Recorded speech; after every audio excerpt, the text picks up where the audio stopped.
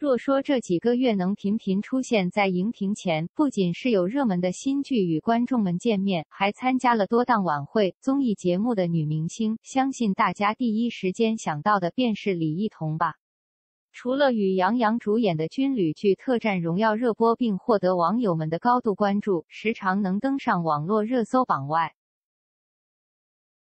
还出演了电视剧《特工任务》《献礼二十大影片中国青年》《我和我的青春》，同时还参加了央视近期的五四晚会以及《王牌对王牌》第七季《你好星期六》《古韵新生》等收视率极高的综艺节目。不得不说，如今李一桐早已跻身当红女明星的行列了。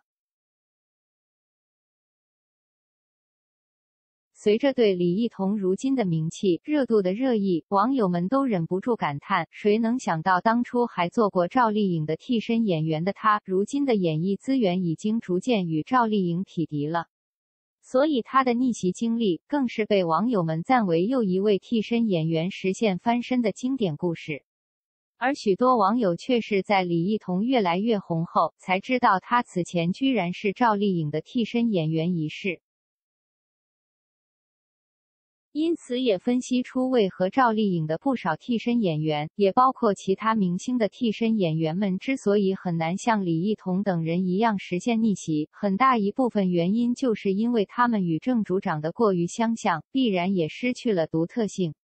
今天就让我们一起来盘点那些明星们足以以假乱真的替身演员，如热巴替身非常有气质，与她十分神似，而赵丽颖替身简直一模一样。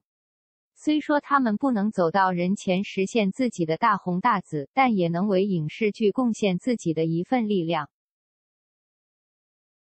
想必大家也都知道，赵丽颖虽然很努力，但也因为此前繁忙的档期，又或者是一些专业的戏份，所以她也不时被曝出许多作品里使用不少替身演员。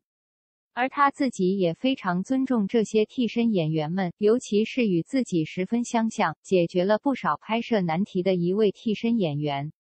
从俩人的合影不难看出，他们不仅身材、背影非常相似，连脸型、五官也极为神似。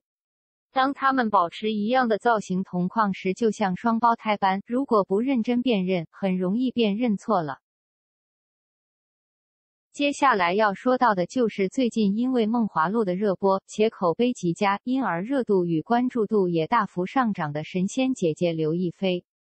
她的替身演员跟她的相似度可以达到百分之七十以上，除了长相一样甜美外，连刘亦菲的仙气也同样拥有。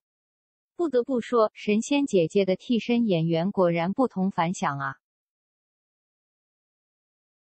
而素有收视女王、流量女王之称的杨幂，自然也会使用替身，且为了不让观众轻易发现，杨幂在聘用替身演员时有着非常高的要求。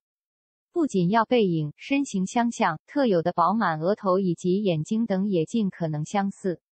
所以，杨幂的替身演员曝光后，大家便能发现他们二人从侧面看，简直长得一模一样。